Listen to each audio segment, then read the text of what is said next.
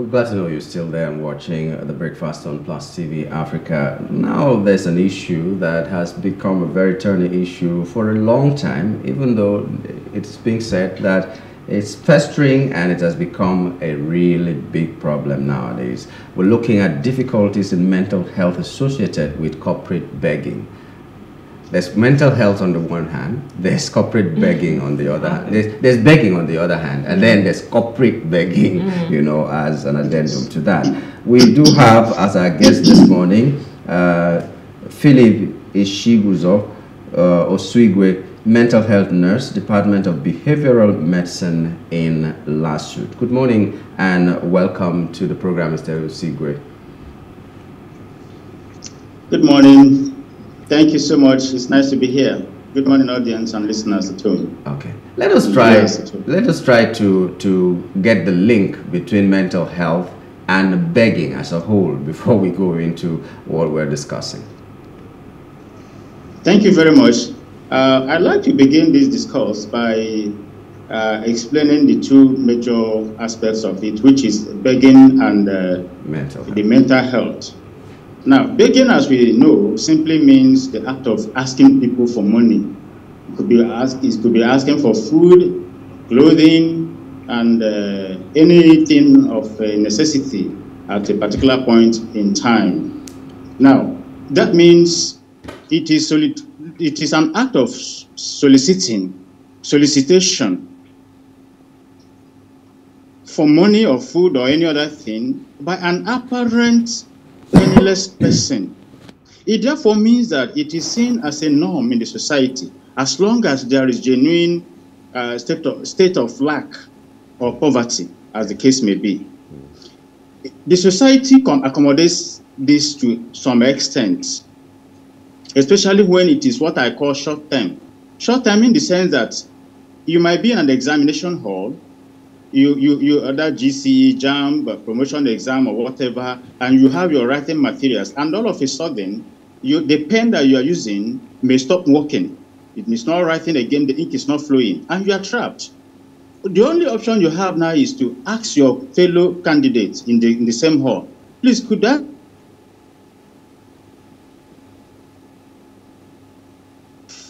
Now, having said that, um, it could also be in other, other forms. Now, the begging could be for an individual, and it could also be at the corporate level. The corporate, in this instance, as well as, as, as uh, uh for the purpose of this discussion, is like, um, you know, NGOs, you can have non-governmental organizations that solicit, solicit for sponsorship support or donation from corporate entities or individuals in order to achieve their objectives, it is still a form of begging with official or corporate image presentation. We cannot deny that. In the same vein, the society does not condone or tolerate any form of begging devoid of transparency, honesty, genuineness. It is considered an abomination once a case of dishonesty, deceitfulness, or lying is established. In that case, the same society that accommodates it with all sincerity of evidence and apparent based situation that somebody is really in lack or is, is in need, we now go, we no longer tolerate it when it has been established. Oh, this person is just pretending, this person is lying, this person is deceiving the society. The society frowns at that. Now, there is yet another form of corporate begging, which is where we are going to be uh, focusing more on in this uh, discussion. This is a new breed of begging, like as published by Guardian, where the Vanguard online, like uh, the uh, which prompted this uh, discussion, I believe. These corporate beggars take begging as a means of livelihood or long-term begging. These beggars sometimes are well-dressed, good-looking, able-bodied, middle-aged young or uh, middle-aged or young adults. They usually hang out around shopping malls. They could be in the uh, in the markets. They even move around offices begging for alms. Well dressed with their suits.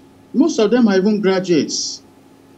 They now take it as a form of livelihood, as a means of livelihood. It becomes what they are now looking forward to particularly when they realize that, oh, they're even making more money more than their counterparts who are in a regular or paid job, or civil servants or low-income earners. Like that publication tells us that some of them are making as much as 150,000, 300,000 naira monthly. This is a huge incentive. Now, let's now look at the mental, the mental health aspect of our discussion this morning. Mental health, according to WHO, is a state of well-being in which the individual realizes his or her own abilities, can cope with normal stresses of life, can work productively and fruitfully, and is able to contribute to his or her community, according to Herrman et al. 2005. Now, this simple definition of mental health by WHO World Health Organization has underscored the dangers inherent in corporate begging. Corporate begging now negates the meaning of mental health. For example, the individual that deliberately indulges in corporate begging is living in denial of his or her abilities to work, earn a living, or be productive, and of course, contribute meaningfully and genuinely to the community or society legitimately. For instance, some of them, like I said before, are graduates of various disciplines. The implication of corporate begging in a long, uh, long run is that it erodes the psyche of the individual, thereby making him or her lose self-confidence and a personal drive to genuine career development and progression. The moment they discover that they can even earn more than their counterparts in regular paid jobs, they can become professional beggars. They want to stick to it, they want to remain there. Secondly, begging is a social problem considering overall negative effects in the society. Example, begging is akin to antisocial behavior. According to international scholars, journalists, uh, journals published online in 2014, beggars constitute a threat to Nigerian society, especially in the cities like Lagos, Port Harcourt, Abuja, and so on and so forth, like the picture we saw in that uh, Vanguard publication. They portray a bad image to outsiders or strangers. Some criminals, again, hide under the guise of beggars to perpetrate their evil deeds. The nefarious activities of fake beggars, such as criminals, area boys, and thugs, constitute one of the sources of civil unrest to the city dwellers. Now, let's take it to the next level. When a professional beggar in quotes now, a professional beggar, that is someone who has decided that begging is my source of livelihood. When they lose this, their livelihood through government legislation or periodic raids, when they have become a nuisance in the society, when they lose their this their source of livelihood without an alternative source of income, it could lead to frustration. And when they are frustrated, some of them might tend to substance use and abuse, which is another kettle of fish, resulting in a huge societal disturbance. Again, some might end up being depressed. And when they are depressed, of course, you know that that's another uh, serious mental issue. Because once depression and uh, frustration has set in, either they, they, they, they uh, tend to substance use in order for them to cope, as they will tell you, most of them that have been uh, encountered before when I was in uh, working in a, an NGO that is into drug rehabilitation. Some of them will say they did that because they feel that it will help them to cope. Whereas at the end of the day, they create more problems. Dependence, withdrawal syndromes will also set in. But most importantly is depression, which could now progress to uh, uh, uh even suicidal ideation and suicide. So this, this is a whole uh, chain of societal evil. But people look at it, tend to look at it shallowly, particularly the practitioners now, the, the people who, who, uh, um, who see corporate begging as a means of livelihood. They only look at the fact that, oh, I can, I'm making money, not knowing that they are reducing their self-esteem. They are reducing their ability to thrive under normal circumstances, particularly those that have no form of disability. This stance does not foreclose the fact that some religious organizations, some religious beliefs see beggars as part of a means of helping them uh, practice their beliefs by giving alms, by giving, lending helping hands to beggars, either money, monetarily especially, and otherwise. Well, I don't have problem with that. But what we are now interested more is this corporate begging that has taken another dimension. Most young adults, graduates, they dress gorgeously. Some I have encountered some of them personally, even under in in Lagos here where where I stay, uh, Ikeja under bridge and some other AA places, so Legba, Mushin and some other places. You see them well dressed. They will approach you and and then create one story just to appeal to your conscience to help. And because they if they and one thing that works for them is that they have a kind of um, I don't know whether they have a kind of resistance or immunity against rejection. They know that if they approach 50 people. Out of that 50, maybe 30 may reject them. The other 20 might, they might, might be moved to show compassion on them. And so it keeps striving. So the, at the end of the day, you, we end up having a society that is full of miscreants, that is, full, that is contributing negatively because some criminals now hide under the, the, the shadow of uh, begging uh, and then mm. to carry out their nefarious uh, activities. Okay, so I know that. I want to pause here at this point. I don't know if I have communicated well enough. Yes, yes, very extensively. I know that I have. Um, I've seen so many. I mean, even in traffic and all. And I think when I was even reading this story, you're hearing of people who that is their day job. Mm-hmm. They they earn a lot of money, and so they, they just feel why why do I need to have a corporate job when I can be a corporate beggar? Um, however, my question is how do we even mitigate this? How do we sensitize people to let them know that, I mean, there is more in you. You have the abilities, you have the um, capability to, to be able to be more than just begging on the street and, you know, just looking for money that you can just yes. get from someone. So how do we mitigate this that is happening and, you know, just championing the fact that they can do more with their lives?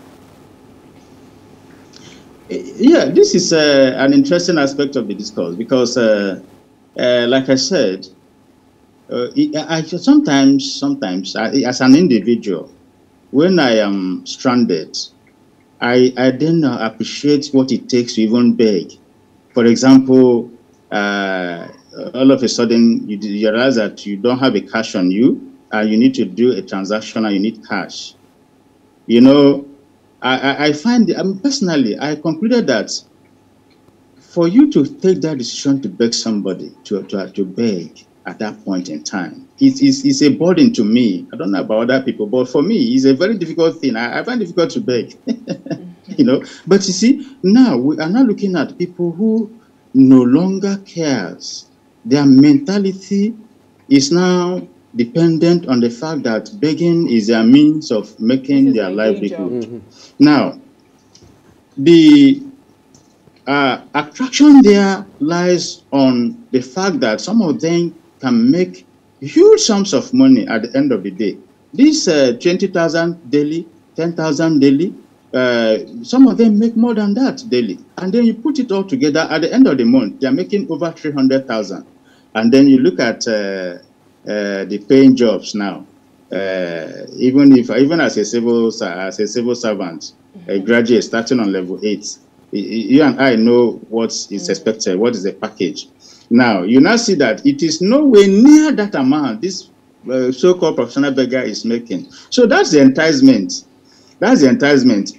Uh, uh, what is important now is for the society, NGOs, even government agencies, National Orientation Agency, uh, Ministry of Information, uh, religious organizations, churches, mosques, and all others, seeing it as something that uh, has negative effect because a lot of youths now uh, are lazing about.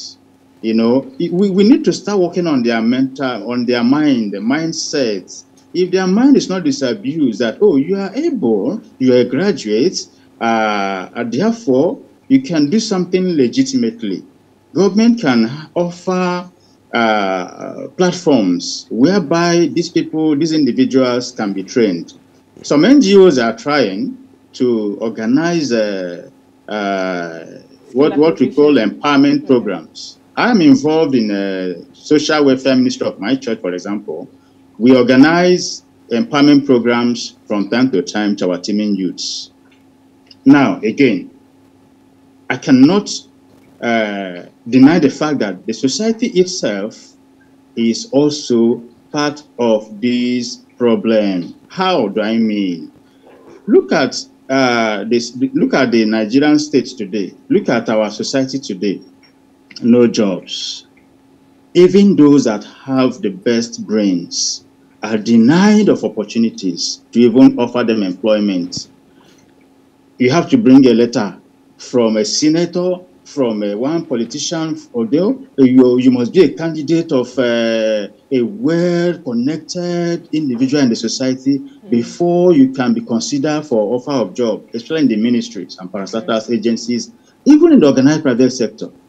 There is some uh, observation that nepotism plays a role. Two people have applied for a job. The one that has the best, uh, meet the best minimum qualification is denied because he doesn't know anybody or he belongs to a particular tribe. So the key thing is actually in having the society need to re, be, be, be re-engineered.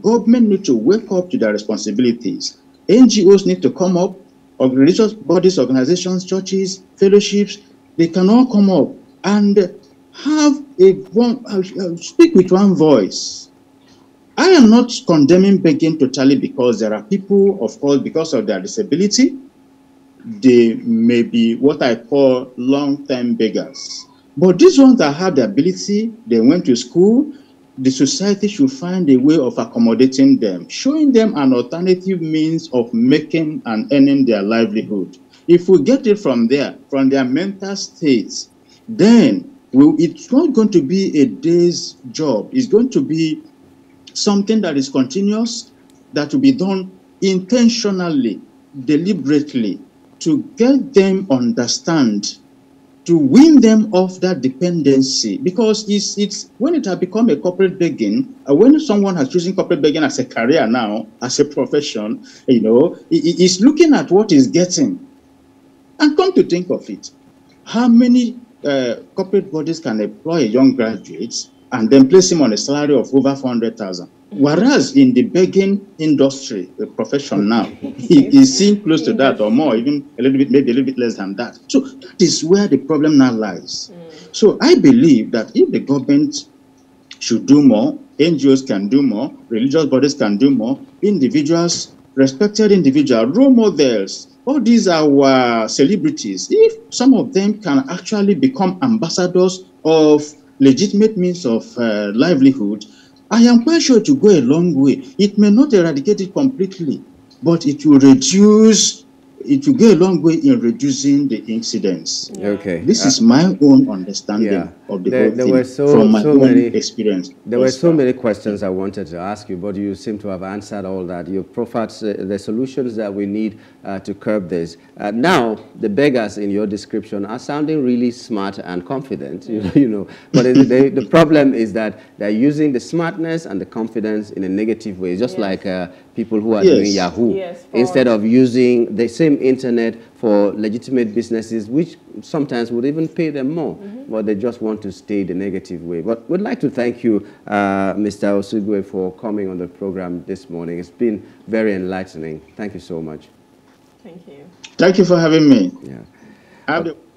Yeah, that was Mr. Philip Ishiguzo Osigwe, uh, mental health nurse, Department of Behavioral Medicine in LASU, talking to us about begging and uh, creating a connection between begging and mental health. So if you're smart enough and you're confident enough and you're not using it to contribute to the society, you just might have a mental problem because you are not exploring mm -hmm. all your capabilities uh, to use to better our society. That's why we draw the curtain this morning. We thank you for being there. My name is Jan.